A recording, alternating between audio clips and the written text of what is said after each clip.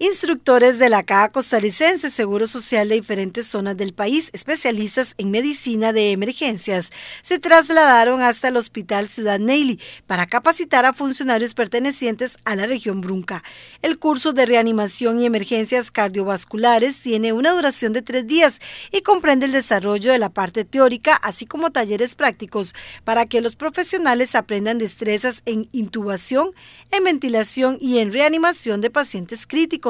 para la directora general de este establecimiento de salud, la doctora Marcela Leandro Ulloa, esas capacitaciones son muy importantes porque permite a los profesionales en salud mantenerse actualizados en lo que es la atención de emergencias. Dijo que esta capacitación es muy importante porque los médicos que trabajan en emergencias, los que trabajan precisamente en ese hospital, tanto en consulta externa como en la parte de hospitalización, pueden estar actualizados en todas las maniobras que se deben hacer para poder sacar adelante a un paciente que tenga alguna patología que ponga en riesgo la salud, por ejemplo a nivel cardíaco o a nivel respiratorio.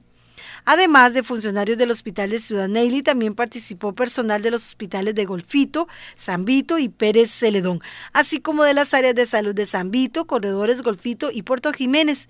El doctor Carlos Argüello Castro, uno de los instructores a cargo del curso y jefe de emergencias del Hospital Fernando Escalante Pradilla en Pérez Celedón, explicó que las capacitaciones se dan con el propósito de abordar temas actuales y de interés relacionados con la atención en los servicios de emergencias